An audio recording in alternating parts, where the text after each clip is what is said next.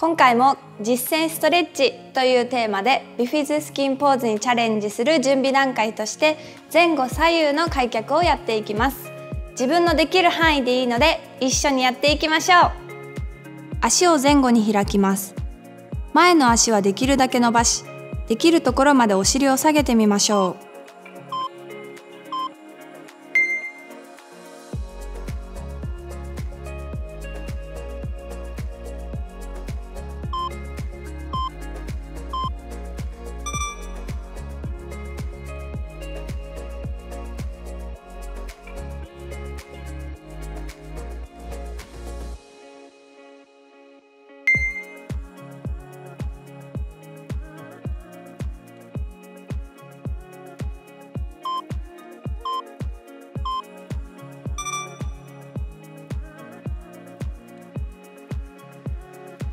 上半身を前に倒していきます。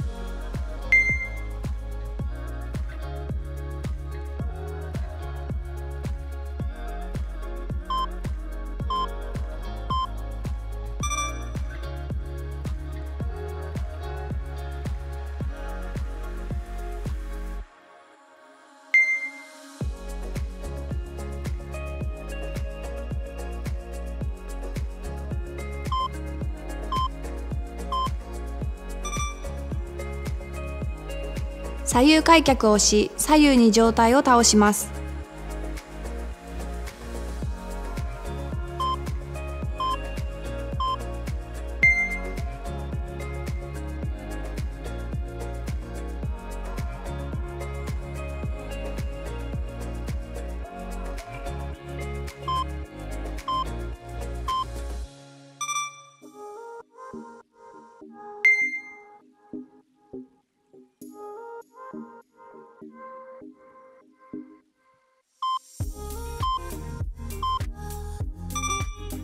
得意な方で足を持ったまま仰向けに寝転んでみましょう。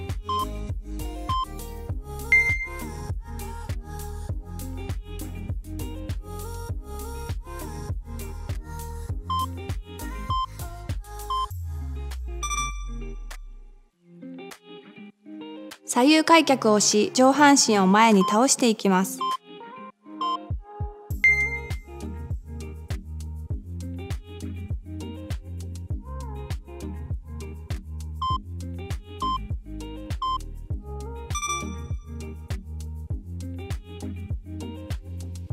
90度に両足を上げ左右一緒に開きます。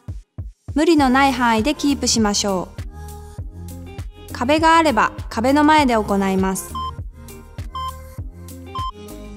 足の重さで股関節周りを伸ばしていきます。痛みが強い場合は両手で下から支えてあげましょう。